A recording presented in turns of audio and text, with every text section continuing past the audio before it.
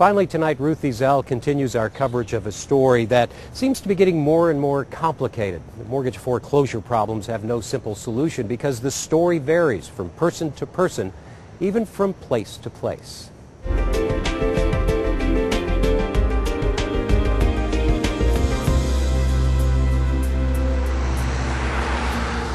I just want to know what I'm, it's going to happen now if they're sacking me from a lagoon.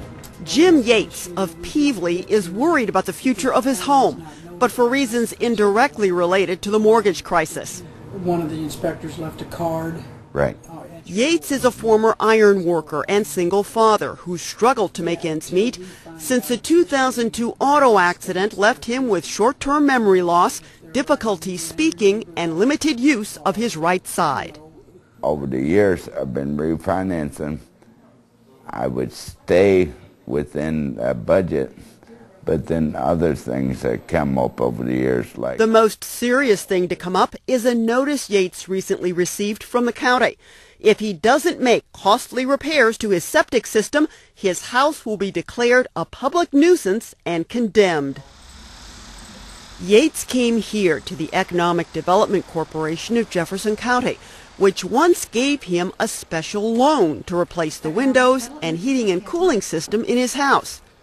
He hopes the EDC can work with him again to fix the septic system. That is probably one of Jefferson County's most prominent problems at the moment. And it is, I would say that it is the number one cause for a lot of our homeowners for losing their homes. Rosie Buchanan is the EDC's Assistant Executive Director. We have in excess that we know of probably 30,000 failing septic systems in this county. Um, our program was created where we can go in, we replace these systems. The problem falls in that these homes that are failing, um, when they are cited by the county, they have 10 days in order to take action um, to try to alleviate this. An average septic system runs about $20,000. When you're looking at a low-income person who is 30, 60 days behind in their house payment, they have no equity left, it's impossible to come up with $20,000. As a result, if this system is not replaced, they're going to lose the home because of failing infrastructure. Foreclosures in Jefferson County for the year 2005 totaled 674.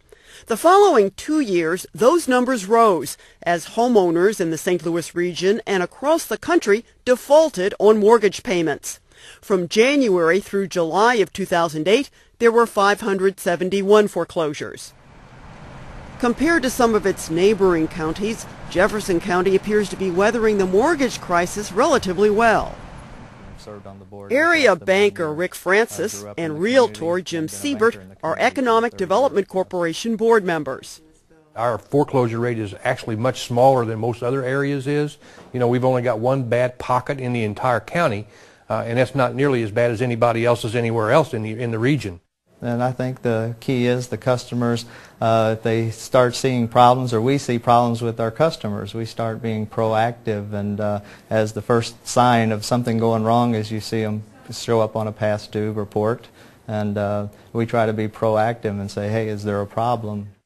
A breakdown of 2008 foreclosure statistics by month suggests the tide might be turning. For the first half of the year, with the exception of February, foreclosures ranged in the 80s and 90s. Then in July, they dropped to 60.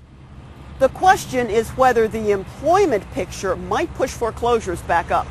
Take Chrysler Corporation, for example. The automaker recently announced it will close its minivan assembly plant here in Fenton and eliminate 2,400 hourly jobs within the next few months. Now, while the facility is located in St. Louis County, one-third of its workers live in Jefferson County. The auto workers, through the uh, union agreements that they have with the Chrysler Corporation, probably won't face the, uh, the, the, the, the same kinds of problems that other individuals do when they lose their job. When a plant closes, they're immediately thrown out on the street. Uh, auto workers have a, a built-in safety net situation. And a safety net is exactly what Jim Yates is looking for. To, everyone got to feel that they could still make it better. Yeah, you might need that helping hand, but you can make it better.